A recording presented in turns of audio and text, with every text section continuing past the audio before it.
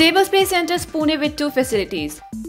Table Space Technologies, a network of customized workspaces, has announced launching two modern workspace facilities at Kharadi and Yerwada in Pune. These two workspaces will take its total space in Pune to nearly 1 lakh square feet. GIDC purchases land in GIFT City.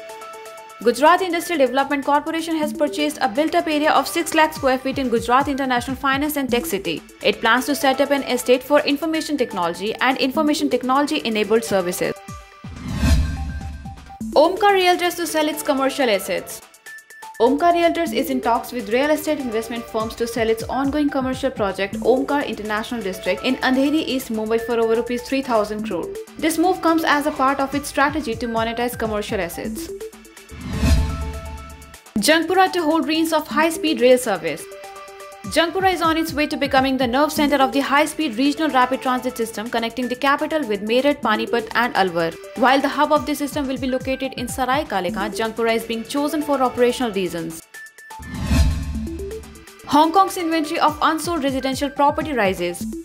Hong Kong's inventory of unsold residential property rose to the highest in more than a decade. The figure stood at 10,000 unsold homes at the end of quarter 1 fiscal year 20, 1,000 units more than the end of March as per the Transport and Housing Bureau.